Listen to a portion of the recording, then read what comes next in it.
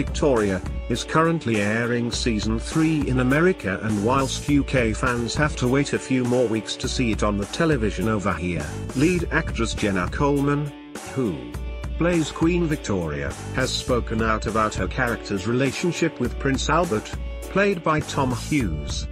The actress has opened up about tension in the pair's marriage, hinting there's trouble ahead. If fans were hoping Victoria would have a slightly easy time, they would be wrong. Alongside bearing several more children, Victoria will struggle to keep control of making any major decisions and instead Albert will step up and take charge, much to the annoyance of his wife.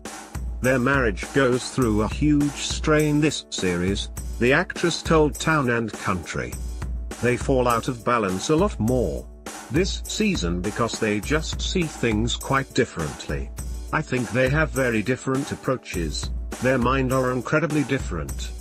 Albert is methodical, he sees the monarchy more scientifically, whereas Victoria is about people and understand her relationship with the public, Jenna explained. Nevertheless, viewers can expect season 3 to end with the great exhibition, which Jenna described as Albert's crowning moment, his vision, he's unbelievably ambitious.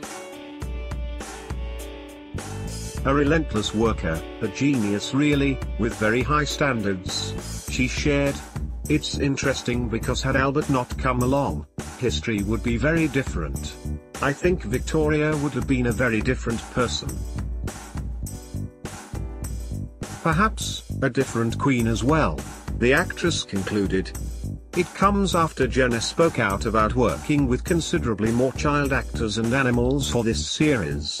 Victoria has already given birth several times and it seems her and Albert are not finished extending their family. History already tells viewers the Queen and her husband have nine children altogether. Victoria Season 3 release date, cast, plot, when is the next series? Their marriage goes through a huge strain this series. Jenna to town and country. And Victoria spends the majority of her time pregnant in this season. Jenna posted an image of herself dressed as Victoria to her official Instagram page earlier in the year. The caption read, Permanently pregnant hash perpetually pregnant hash pregnant at Victoria series. As for playing a constantly pregnant woman, Jenna revealed how much she loved it. I enjoy playing her most when she's pregnant, she added. Victoria Season 3 returns later this month on ITV.